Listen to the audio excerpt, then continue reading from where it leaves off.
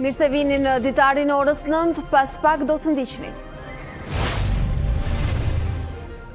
Rasti i Valdrim Pjetrit shkakton debate në kryesinë e Partisë Socialiste për mënyrën se si janë përzgjedhur kandidaturat nga ish-drejtuesi politik i tij Ditmir Bushati. Ndërkohë, Kryeministri Rama i kërkoi dorëheqjet drejtorëve të këtij qarku gjatë një takimi në Partinë Socialiste. Kryeministri Rama propozoi nga Lezha zgjatjen e afateve për verifikimin në kuadër të ligjit për dekriminalizimin, por analistët e pyetur nga A dy CNN theksojnë se problemi qëndron te përzgjedhja e kandidaturave, jo tek afatet. Arta Marku nuk hap garën për plotësimin e vendit vakant në Këshillin e Lartë të Prokurorisë të krijuar pas shkarkimit të Gent Osmanit. Prokurorët duhet të ishin njoftuar në datë dy gusht. Nderuar shikues mirëmëngjes, mirë se po takohemi edhe sot me ditarin e orës 9 në këtë transmitim të drejtpërdrejtë. Në hapësirën në vijim, në këtë hapësirë informative do të keni mundësi të merrni të tjera informacione nga aktualiteti në vend dhe jo vetëm si këto.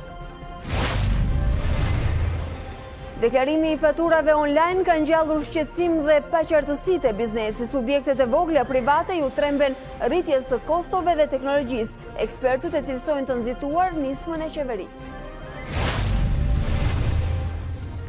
Pezullohen deri në 14 tetor punimet e parlamentit britanik një javë para daljes përfundimtare nga Brexit. Mbretëresha Elizabeth pranoi propozimin e Boris Johnson që kërkon kohë për parashtrimin e një agjende të re legjislative për vendin.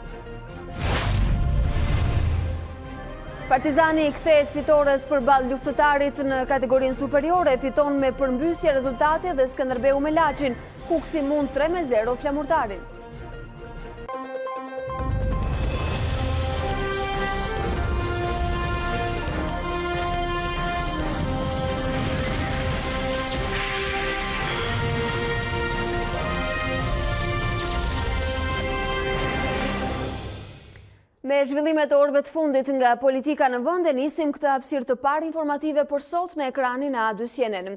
Rasti i Valdrim Pjetrit prodhoi një furtunë shkarkimesh në Shkodër. Kryeministri i vendit, Edi Rama, ia kërkoi personalisht dorëheqjet drejtorëve të këtij qarku në një takim që pati me ta në selinë e Partisë Socialiste. Ndërsa në mbledhjen e kryesisë u shoqërua me debate mbi mënyrën se si janë përzgjedhur kandidaturat në këtë qark, Pikërisht nga ish-drejtuesi politik i tij Ditmir Bushati, ndjekim materialin e përgatitur nga reporterja Elona Gjylmi. Kryesia e Partisë Socialiste e mbledhur mbasditen e së mërkurës nuk arriti të prodhojë një emër mbi pasuesin e Valdrim Pjetrit në drejtimin politik të atij qarku. Megjithatë, do të ketë shumë prerje kokash, duke nisur që nga drejtorët e më pas drejtuesit e tjerë të strukturave politike të Partisë Socialiste. Në vlerësimin tonë, rezultatet politike tonat, në disa palë zgjedhje nuk kanë qenë ato të dëshiruarat për partinë më të madhe të gjithë shqiptarëve. Të gjithë drejtorat e Bashkisë Shkodër e drejtorive të Bashkisë Shkodër iu komunikua që duhet të japin dorëheqjen në mënyrë që të kemi një ristartim të ri të gjithë procesit në këtë bashki. Vendet vakante do plotësohen nga persona që do jenë brenda këtyre institucioneve, por sigurisht ne do të ngrejmë një komision qytetar që do të përthithë, do vlerësojë figurat me më integritet. Megjithatë mbledhja nuk kaloi pa probleme. Ishte Ditmir Bushati, ish-drejtuesi politik i qarkut të Shkodrës zëri kritik i kësaj mbledhjeje, i cili nëpërmjet një letre i ka bërë publike të gjithë shqetësimet e tij, të akumuluara ndër vite për këtë qark, mbi mënyrën se si përzgjidhen kandidaturat, apo dhe merren vendimet. Ato gabime që kemi bërë në të shkuarën, kur njerëz që kishin një të kaluar të dyshimtë i përjashtuam nga radhët tona, u përshëndetëm publikisht nga Shtetet e Bashkuara të Amerikës, fatkeqësisht u rikthyen në tryezat tona vendimmarrëse dhe sot dhe sot na duhet për fat keq të administrojmë pasojat e këtyre gabimeve. Shkarkimet masive apo dhe ashpërsimet në ligjin e dekriminalizimit, sipas paraardhësit të Valdrin Pjetrit në kryesimin e Qarkut Shkodër nuk mjaftojnë. Për Ditmir Bushatin, Partia Socialiste ka nevojë për një riformatim të brendshëm, madje dhe të kërkojë falje për rastet e fundit.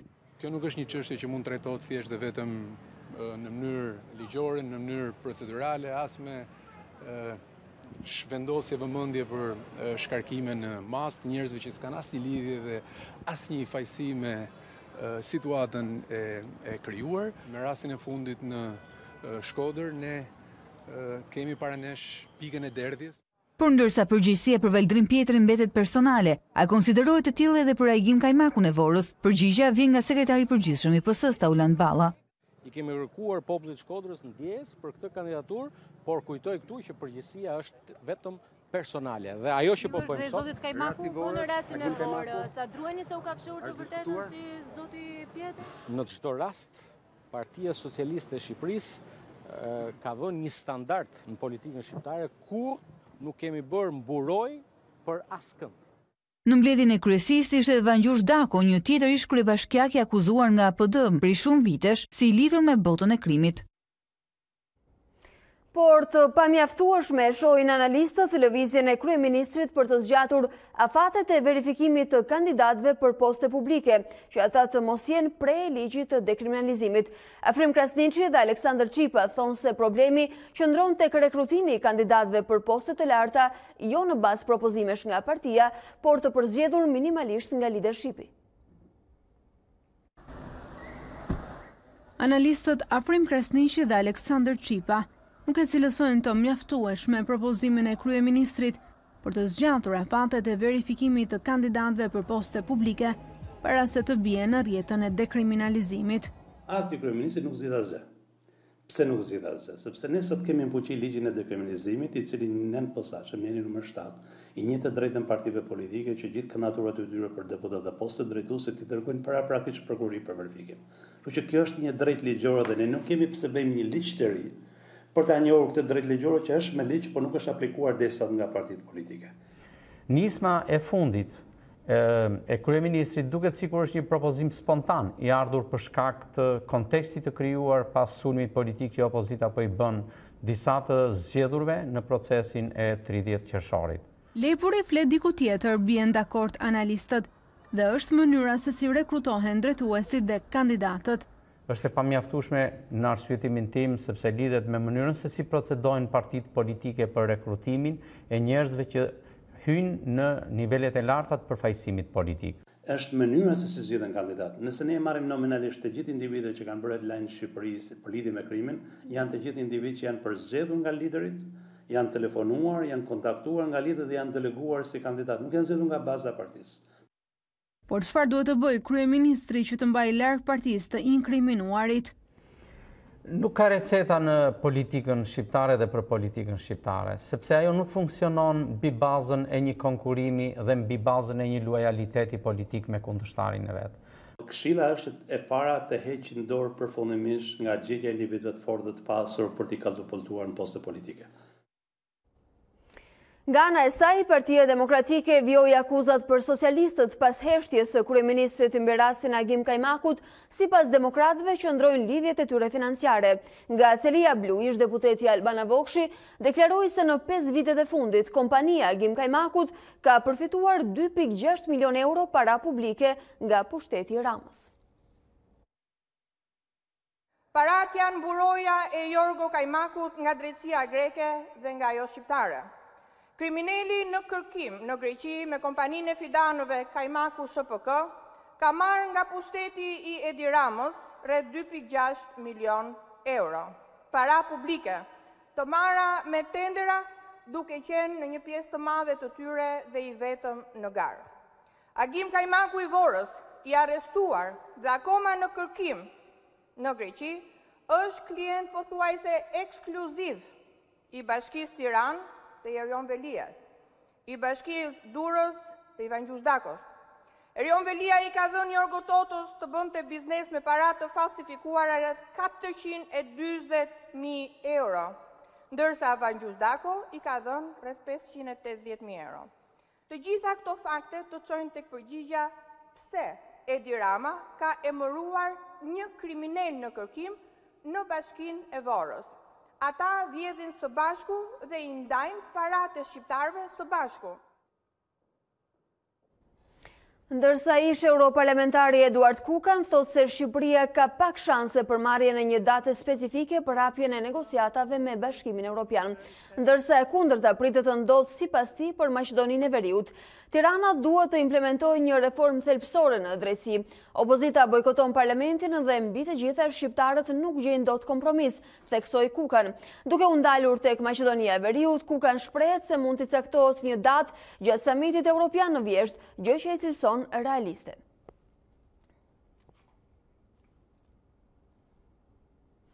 Të nderuar shikues, mëngjesin e sotëm në studion e ditarit, jemi rikthyer me të ftuarin tonë, zoti Aristir Lumezi nga Gazeta Panorama. Mirëmëngjes dhe mirë se vini. Mirë Faleminderit për ftesën. Zoti Lumezi, para zgjedhjeve më thoshit se zgjidhja për krizën do të vijë pas zgjedhjeve vendore. Teksa shihni sot situatën, a besoni se Partia Socialiste e cila kryeson me numër votash dhe kandidaturash të kryebashkiakëve është e zënë në befasi nga kryebashkiakët të cilët tashmë duket se janë viktimat e dekriminalizimit?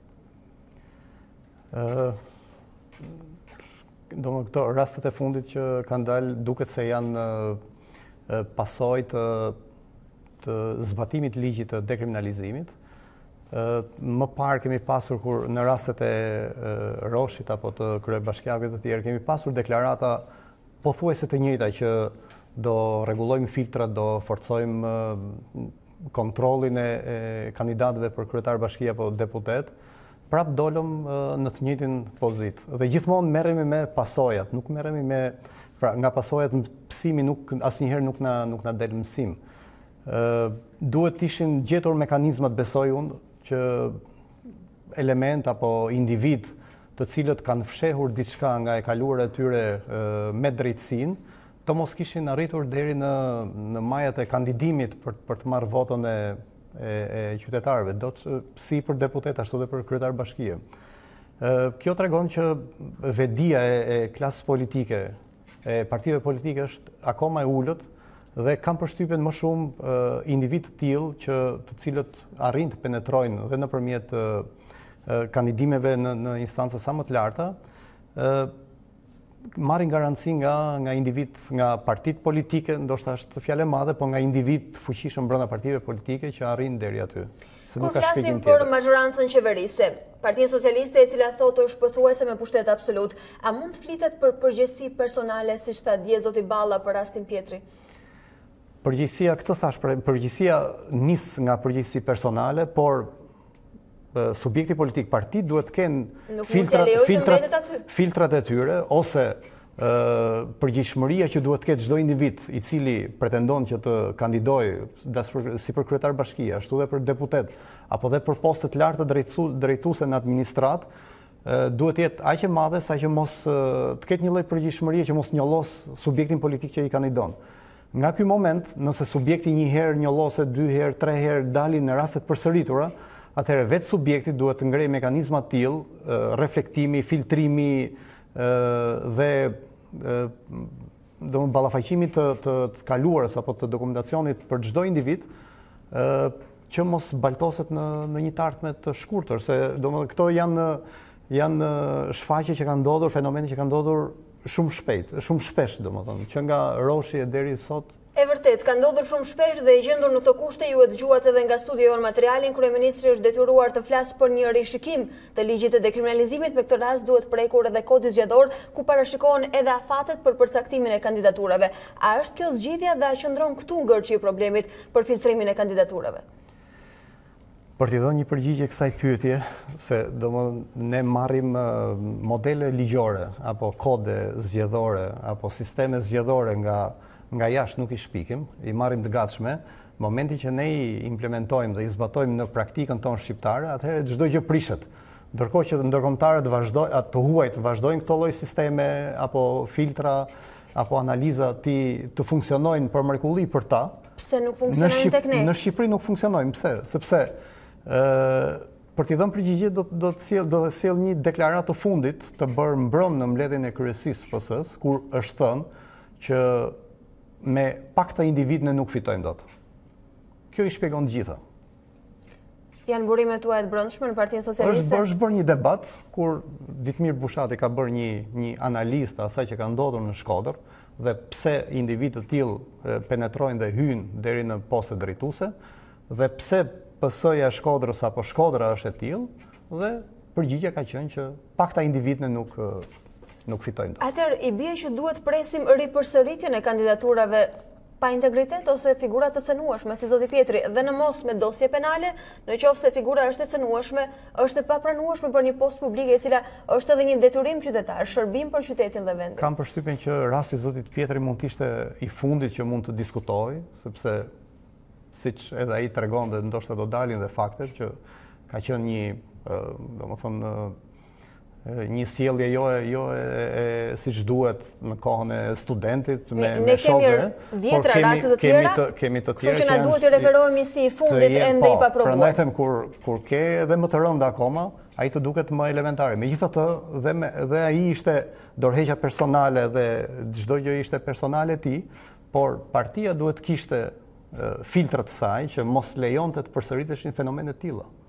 Pra, Partisë Socialiste nuk i lejohet në këtë pikë që t'i rikthehen, t'i riciklohen vazhdimisht akuza të tilla për individë që kanë pasur një të kaluar të dyshimtë se nuk jemi gjykatës apo prokurorë. Pra, kjo ishte edhe pyetja ime, nuk ka tolerancë për një neglizhencë të këtyre niveleve për kandidatura publike. Nuk ka sepse ka pas të gjithë komoditetin që të krijojë mekanizmat ato që thuhen sot, po që janë thënë dhe në rastin e Roshit, që Partia Socialiste të mos i kishte këto filtra, këto mekanizma, se ka dhe pushtetin. Në pushtet ke ministrinë e brendshme, ke SHISH, ke, domethënë mund të, mund të kërkosh me korrespondencë zyrtare si institucion shtetëror informacione për individët që do, do kandidojnë. Atëherë, pse nuk është bërë, është e kuptueshme që individë më të fuqishëm brenda PS-së, themi, kanë ndikuar ose kanë, kanë shërbyer si ombrellë për, për t'i pasur apo për t'i, për t'i shtyrë më tutje në karrierë Ndërkohë që duket se shtatori po e gjen në vështirësi dhe në pozita jo shumë të kënaqshme Partinë Socialiste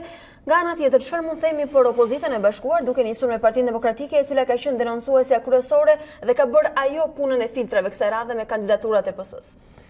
I vetmi sukses për mu i opozitës është vetëm peshkimi në rrjetën e dekriminalizimit të individëve të ndryshëm, sepse ishte dhe ajo nxitësja e këtij ligji, dhe edhe sot që flasim, gjithë aksioni i saj politik ka, ka, ka, ka rezultuar i dështuar, po i vetmi sukses mund të quhet vetëm kjo, e denoncimit të individëve që kanë pasur një, që nuk kanë deklaruar të shkuarën e tyre problematike me drejtësinë. Nuk ka merita të tjera që mund t'ia njohim Partisë demokratike në këto javë? Personalisht asnjë lloj, opozita ka qenë me pushime. që nga kryetari e deri tek drejtuesit e saj. Nuk ka pas ndonjë aksion, nuk ka pas ndonjë denoncim, nuk ka pas ndonjë platformë, të themi që unë të them që po, ky ky grupim më duket më i mirë se... Për platforma konkrete janë kritikuar vazhdimisht dhe ndoshta edhe kanë qenë në mungesë nuk ka pasur, por denoncime ka pasur pothuajse çdo javë. Këtë po them pra, vetëm denoncimet rreth, rreth këtyre individve, apo Këto PPP-të janë harruar pak a shumë, sepse duket që janë klientët e të dy palëve, por mbetemi këtu. Megjithatë, për t'u kthyer te konstatimi juaj, te këto denoncime, sa gjatë mund ta mbajnë në jetë këto denoncime Partinë demokratike dhe opozitën në kushtet ku ajo është sot? Mund ta mbajnë gjatë si flamurtarët të themi që mbajnë flamurin e dekriminalizimit e pastrimit të politikës, për aq kohë sa mund të dalin individë të tjerë në në publik, apo pra të njihemi me individë të tjerë që mund të kenë pasur të shkuar të dyshimtë me drejtësinë. Por, kjo është e pamjaftueshme, sepse... Pikërisht, a mjafton kjo kur i njohim objektivat tashmë të paracaktuara të opozitës? Shqiptarët, po, shqiptarët presin një alternativë. Alternativë si për të qeverisur më mirë dhe alternativë dhe ndaj qeverisjes aktuale. Pra, një qeveri që nuk ka presion, nuk do bëjë vazhdimisht gabime. Dhe gabimet i marrim vesh pas shumë kohësh, pasi kanë dhënë efektet negative në jetën. Zoti Lumezi, a do të jetë 13 tetori që do t'i vërë palët para një presioni, ndoshta për t'u ulur në tavolinë, apo do të jetë sërish faktori ndërkombëtar, ndoshta i rikthyer në shtator me një ndërmjetësim? Në fakt, 13 tetorin unë e shikoj me dyshim të madh, sepse Partitë politike që duhet të garojnë, më fal, nuk nuk është se janë regjistruar, për shembull, pra, Partia Demokratike nuk është regjistruar që ta legjitimojë si datë dekretin e presidentit. Nga ana tjetër, ndërkombëtarët po lëvizin, pra gjermanët po lëvizin CDU-ja, po lëviz që të bëjë një lloj negocimi, por mua më duket e pamundur dhe nëse gjërat janë këtu dhe nuk kanë një nuk kemi një dritë jeshile për të parë për të për t'u zbutur, për t'u rregulluar, për t'u ulur në tavolinë dhe për të gjetur një lloj zgjidhje të këtij ngërçi është përgjegjësi totalisht e, e politikës shqiptare. Për të kaluar nga trembëdhjetë tetori te një datë tjetër e rëndësishme për Shqipërinë siç është tetëmbëdhjetë tetori e dëgjuat paraprakisht një lajm jo shumë i mirë që në fakt vjen si parashikim për Shqipërinë në krahasim me Maqedoninë e Veriut duket se ka pak gjasa që Shqipëria të kalojë pragun duke marrë një përgjigje pozitive.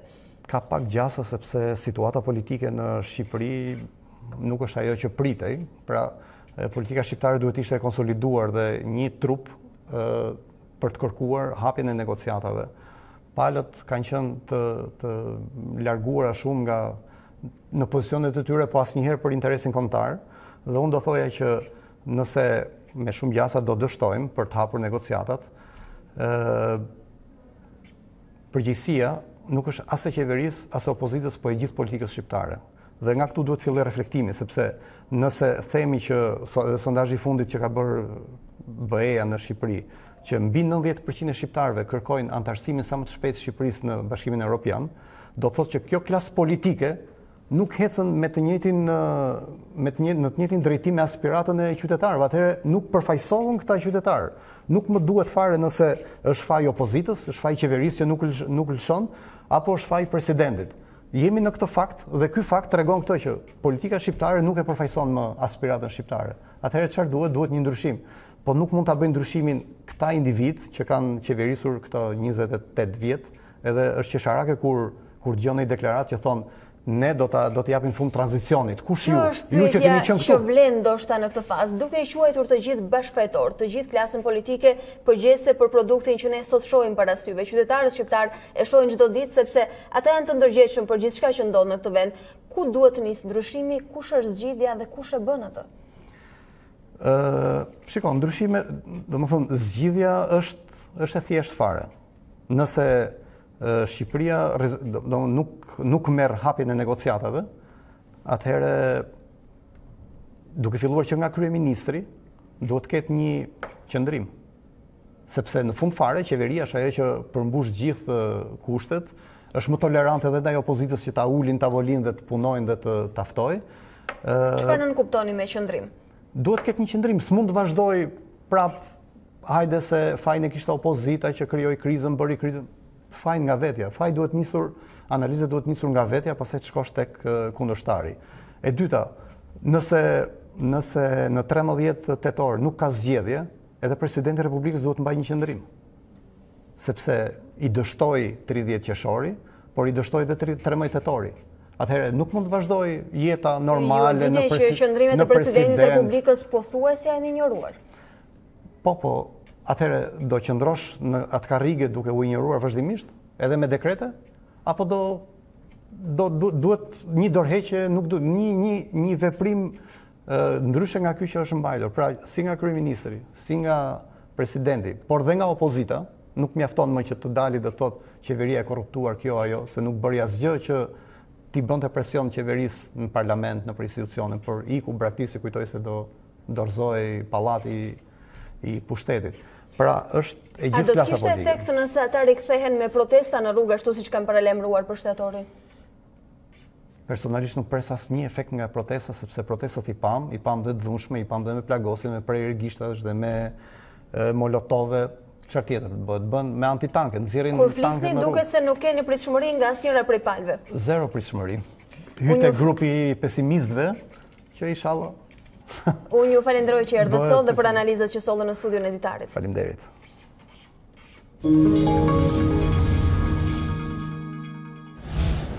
Ne rikthehemi të nderuar shikues për të ndarë bashkë të tjera informacione mbetemi në aktualitet.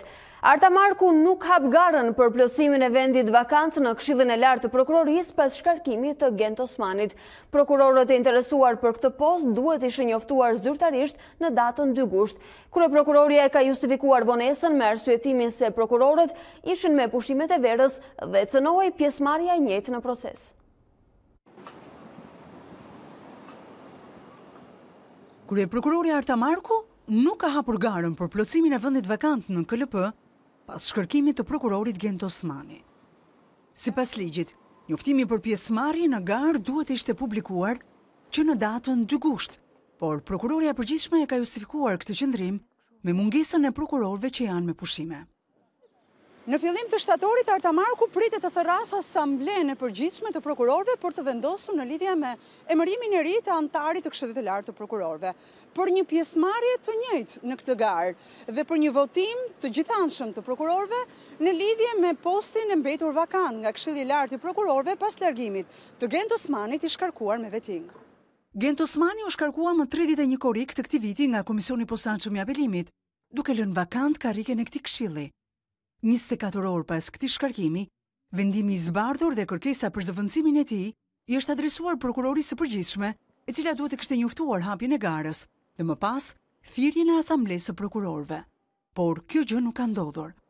Edhe pse letra e Këshillit të Lartë të Prokurorëve ka mbërritur në Zyrën e Markut më datën dy gusht, në faqen zyrtare të Prokurorisë së Përgjithshme nuk është bërë asnjë njoftim drejtuar prokurorëve për të shprehur interesin për këtë post vakant. Në vend të Osmanit, përflitet se do të emërohet numri dy i Prokurorisë së Përgjithshme Adnan Xholi, emërimi i tij në këtë post pritet të fuqizojë më shumë pozitat e Arta Markut në garën për prokurorin e përgjithshëm.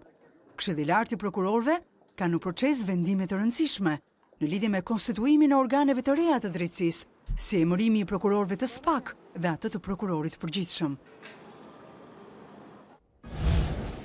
Në gjashtëmbëdhjetë shtator nis viti i ri shkollor në arsimin parauniversitar edhe sivjet nxënësit e Tiranës nuk do t'i shpëtojnë mësimit me turne. Më i theksuar fenomeni është në shkollat nëntëvjeçare, por edhe në gjimnazet e mbipopulluara. Edhe këtë vit nxënësit e Tiranës do të mësojnë me dy turne. Më të prekur nga mësimi pasdite do të jenë nxënësit e shkollave nëntëvjeçare, por nuk do t'i shpëtojnë as gjimnazet me fluks të madh. Vetëm në shkollën e mesme Sami Frashëri këtë vit shkollor do të hapen katërmbëdhjetë vite të para, me tridhjetë e pesë nxënës për klasë. duke pasur në çdo vit në rritje kërkesa, është rritur numri i klasave dhe për këtë arsye dhe ambientet nuk e përballojnë, sepse godina ju e dini që është një godinë pesëdhjetë e pesë vjeçare, është e vjetër, edhe duke u rritur numri i klasave detyrimisht ka kaluar një pjesë e nxënësve ta bëjnë mësimin mbasdite. Ne e kemi gjykuar të arsyeshme që vitet e para të paraqiten mbasdite dhe janë të gjitha vitet e para që vijnë mbasdite, në orën një e gjysmë deri në orën gjashtë e gjysmë. As ndërtimi i shtesave aq më pak rikonstruksionet nuk eleminojnë turnet e dyta në shkollat e mbipopulluara të kryeqytetit. Vetëm ndërtimi i institucioneve të reja, rreth shtatëmbëdhjetë të tilla të premtuara nga bashkia, do të jenë zgjidhje që nxënësit mos shkojnë pasdite në shkollë. Pak ditë më parë, kryetari Erion Veliaj premtoi se do t'i japë fund turneve brenda mandatit të dytë, ndërsa këtë vit arsimor vetëm një shkollë e re i shtohet Tiranës. Shkolla Servete Maçi, Di t'ju them që është disa herë më e bukur edhe më e arrirë sesa shkolla Kosova. Në qoftë se ka skeptikë, ju ftoj që në datën 16 shtator të jemi aty. Kjo bëhet shkolla e pestë e re nga fillimi, ndërkohë kanë filluar dhe themelet siç thashë Nënë Terezës, Kristo Frashërit, shkolla Dritëro Agolli që do të fillojë tek Parku Olimpik, edhe 17 shkollat e reja, që të mbyllet në këtë mandat përfundimisht çështja e arsimit me dy turne. Në gjashtëmbëdhjetë shtator, nis viti i ri shkollor në arsimin parauniversitar, e nëse në rrethe klasat po boshatisen nga largimet brenda dhe jashtë vendit, në Tiranë, shkollat vijojnë punën me turne. Deklarimi i faturave online ka ngjallur shqetësim dhe paqartësi te biznesi. Subjektet u tremben rritjes së kostove, por edhe vështërsive në përshtatjen me teknologjinë. Për ekspertët kjo nismë është e nxituar dhe e pakonsultuar me sipërmarrjen. Biznesi është i paqartë për nismën e fundit të qeverisë të lançuar me shumë bujë, faturën online ose ndryshe fiskalizimin. Deri më tani të gjitha faturat i kanë deklaruar me kasë, ashtu siç ka kërkuar edhe ligji. Por kjo do të ndryshojë në bazë të urdhrit të ri. Jemi ma mirë me kasën, për momentin, se me online nuk kemi mësu, nuk, nuk na kanë informu si funksionon, edhe nuk e dim. Zoti kryeministër duhet të pysi dhe biznesin, tregtarët, Ndërkaq ekspertët kontabël, ata që janë në kontakt të drejtpërdrejtë me biznesin, e konsiderojnë fiskalizimin një proces të nxituar. Sipas tyre, kostot që do të rëndojnë mbi sipërmarrjen janë të pashmangshme, ashtu siç edhe nxjerrja jashtë tregut e një pjese të kasave fiskale. Asnjë lloj mundësie dhe shansi nuk ka që në një janar të fillojë të zbatohet fiskalizimi. Problemi qëndron si gjithmonë në të dyja anët, ëh, dhe vetë administrata tatimore është e papërshtatur, as nuk e njeh dhe as nuk është në gjendje që kaq shpejt të ambientohet. Nga vetë kompania do ketë shumë probleme kompania që po e lançon si program, por njëkohësisht dhe nga biznesi. Pra janë janë shumë faktorë që e bëjnë pothuajse të pamundur futjen, përveçse duhet thënë, përveçse të themi që për arsye politike një janar do të përfshihet. Qeveria ka paralajmëruar se në janar xhiroja ditore e biznesit nuk do të deklarohet më me kasë, por elektronikisht. Një proces i pagëzuar si fiskalizimi, por që ende ngre pikëpyetje për mënyrën se si do të realizohet dhe shqetësim tek biznesi që do të përballet me këtë formë të re në marrëdhënien me tatimet. Ndërsa monedha e përbashkët europiane i është rikthyer rritjes në tregun valutor për t'u ngjitur në kuotën e 122 lekëve. Por pavarësisht trendit pozitiv, ekspertët shprehen se euro pritet të mbyllë vitin në vlera mjaft të ulëta, që nuk e kalojnë njëqind e njëzet e tre lekë. Euro po fiton pikë kundrejt lekut në tregun tonë të këmbimit, një dukuri e pritshme me mbarimin e efekteve sezonale nga prurjet valutore të turistëve dhe emigrantëve që kaluan pushimet në atdhe. Sipas kursit të Bankës së Shqipërisë, monedha europiane po këmbehet me mbi njëqind e njëzet e dy lekë, duke fituar zero pikë pesë lekë kundrejt një dite më parë. Për ekspertët, euro do të fitojë edhe pak pikë deri në fund të vitit, për të mos kaluar nivelin e njëqind e njëzet e tre lekëve. Do të rritet, sepse faktorët që e ulin, sidomos prurjet e turistëve, janë tanimë pothuajse nga, si thua, ezaurimi i tyre. Mendoj se mund të shkojë pa frikë në njëqind e njëzet e tre, edhe të qëndrojë aty për një periudhë mirë kohe fundin nëntorit deri nga marsi i vitit tjetër. Përveç euros, kursi i Bankës së Shqipërisë evidenton ditët e fundit një forcim të të gjitha monedhave të huaja kundrejt lekut shqiptar.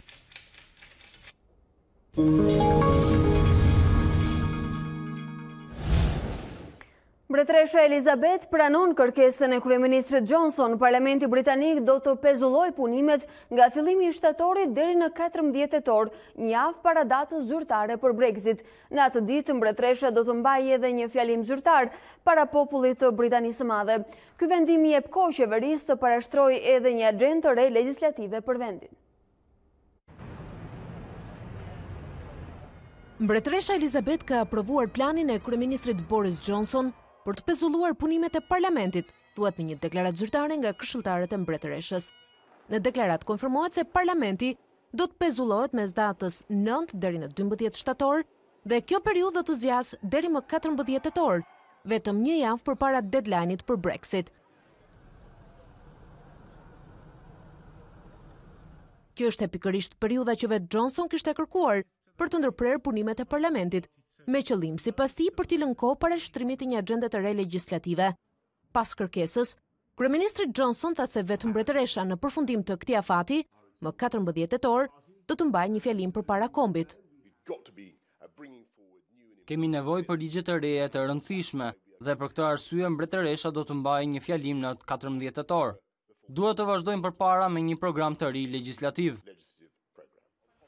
Por pezullimi i Parlamentit deri më 14 tetor nënkupton se ligjvënësit do të kenë më pak kohë për të miratuar ligje që do të ndalonin një Brexit pa ujdi. Kryetari i Dhomës së Komunëve, i cili rrallë komenton njoftimet politike, e cilësoi këtë një shkelje të rëndë të Kushtetutës. Edhe laburistët u shprehën të tmerruar nga ajo që e cilësuan papërgjegjshmëri nga ana e Johnson, ndërsa një peticion kundër vendimit të kryeministrit është publikuar në faqen e parlamentit duke grumbulluar mijëra firma. Për momentin, duket se në tryezë opsioni më i diskutuar është ai i një Brexit pa ujdi. Konsultimet për zgjidhjen e krizës në Itali vijojnë, por duket se ideja e mbajtjes së zgjedhjeve të reja në vjeshtë është gjithnjë e më larg. Pas takimit me presidentin Mattarella, lideri i opozitës, Zingaretti tha se kreu i shtetit ka mbi tryezë alternativën e duhur për të shmangur zgjedhjet e parakohshme, një qeveri të re mes PD-së dhe Pesë Yjeve, duke i lënë kësaj të fundit edhe kandidatin për kryeministër.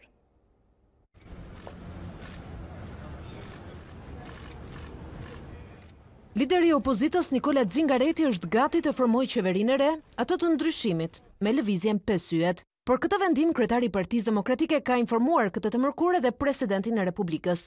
pas takimit me Sergio Mattarellan, Zingaretti u tha gazetarëve se partia e tij është gati të pranojë edhe që kandidati për kryeministër të dalë nga radhët e pesë yjeve, duke e nominuar kryeministrin aktual Giuseppe Conte.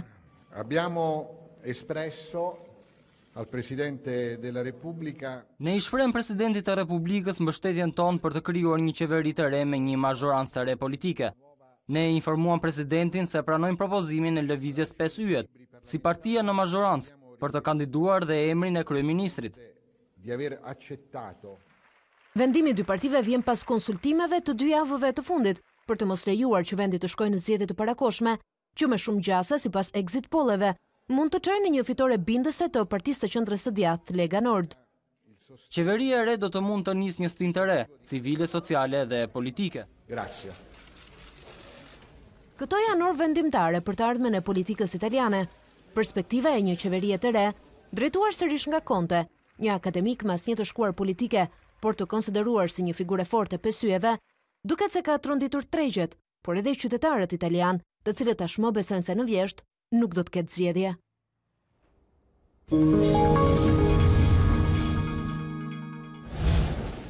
Shohim dhe të rejat nga sporti. Partizani u kthye te fitorja në Kategorinë Superiore. Të kuqtë fituan përballë Luftëtarit me rezultatin minimal 1-0. Goli i vetëm u shënua nga Telushi në pjesën e parë pas një goditje me kokë. Në takimet e tjera, Skënderbeu fitoi me përmbysje me Laçin. Pjesa e par përfundoi me avantazhin e Laçit, ndërsa në pjesën e dytë, Skënderbeu barazoi me Bregun dhe më pas dyfishoi shifrat. Takimi mes Vllaznisë dhe Bylisit përfundoi në barazimin zero me zero.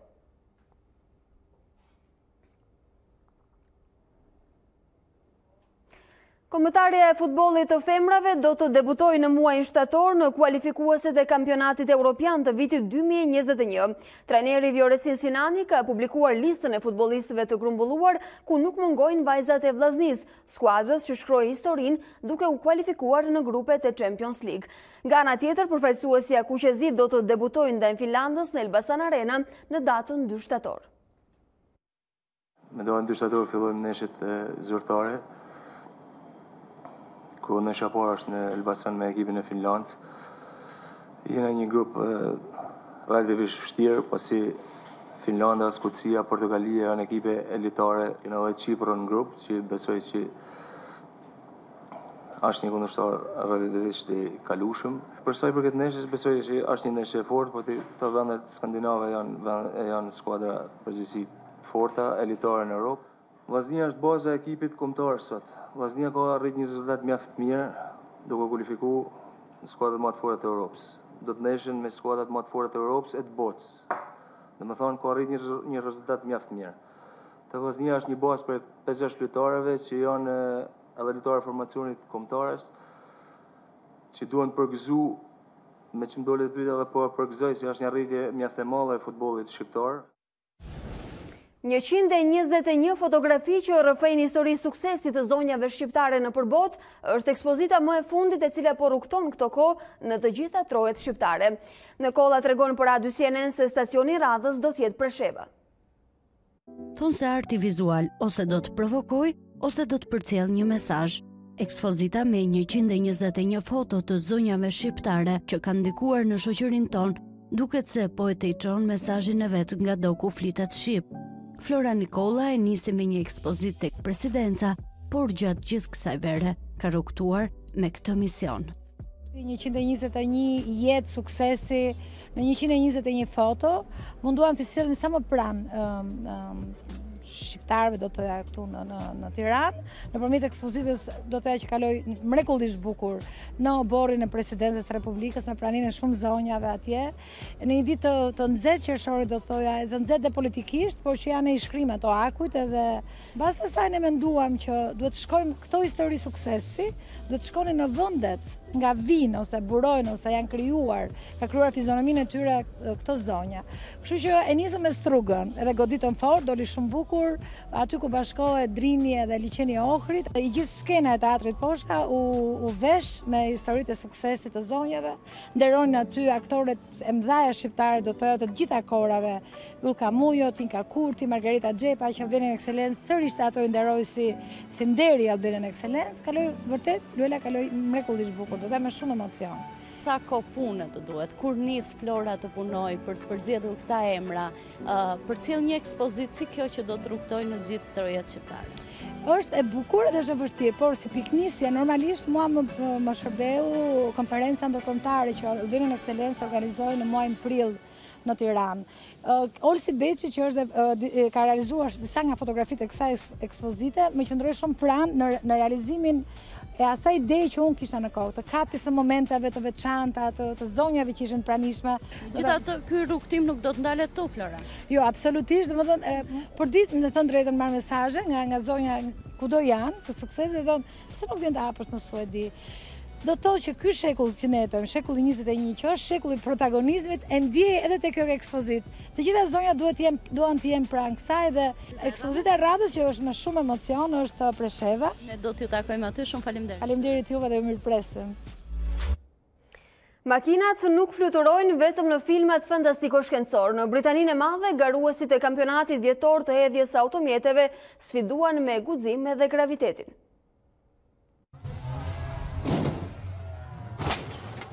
Makinat fluturuese mund të lidhen ngushtë me filmat fantastiko shkencor, por garuesit në kampionatin e hedhjes së makinave në Britaninë e Madhe bënë të pamundurën për të sfiduar gravitetin. Të patrembur nga rrokullisjet dhe zjarret, drejtuesit e guximshëm përshpejtonin automjetet përgjatë një platforme të përpjetë, në përpjekjen për të kapërcyer një radhë makinash të vjetra dhe për të prekur shëndoshë e mirë tokën në anën tjetër. Edhe pse nuk pati lëndime serioze, ekipe të ndërhyrjes së shpejtë qëndruan në pritje për t'u ardhur në ndihmë garuesve. Bradley Locke, drejtuesi i një automjeti të tipit Ford Fiesta, u kurorëzua si kampioni i këtij viti, duke bindur jurinë dhe spektatorët se hedhja e realizuar prej tij ishte më e mira. Çmimi për të vënë jetën në rrezik? Një shifër simbolike prej gjashtëdhjetë dollarësh dhe, sigurisht, një vend deri në rimorkjator. Shohim edhe një herë zhvillimet kryesore të kësaj hapësire.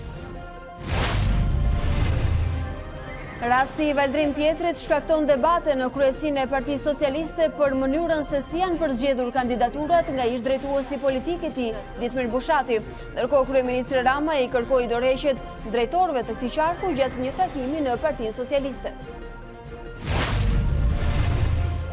Analistët nuk e vlerësojnë si zgjidhje propozimin e kryeministrit Rama për zgjatjen e afateve për verifikimin në kuadër të ligjit për dekriminalizimin. Sipas tyre, problemi qëndron tek zgjedhja e kandidaturave, jo tek afatet. Arta Marku nuk hap garën për plotësimin e vendit vakant në Këshillin e Lartë të Prokurorisë të krijuar pas shkarkimit të Gent Osmanit. Prokurorët duhet të ishin njoftuar në datë 2 gusht.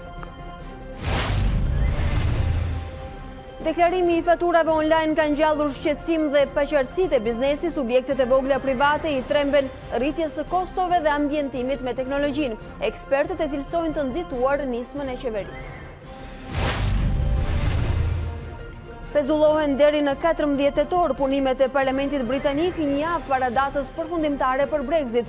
Mbretëresha Elizabeth pranoi propozimin e Boris Johnson që kërkon kohë për parashtrimin e agjendës së re për legjislacionin e vendit. Partizani i kthehet fitores përballë Luftëtarit në Kategorinë Superiore, fiton me përmbysje rezultati dhe Skënderbeu me Laçin. Kukësi e mund 3 me 0 Flamurtarin. Kjo ishte e gjitha për ditarin e këtij mëngjesi, unë ju falënderoj që na ndoqët, vazhdoni qëndroni me A2 CNN.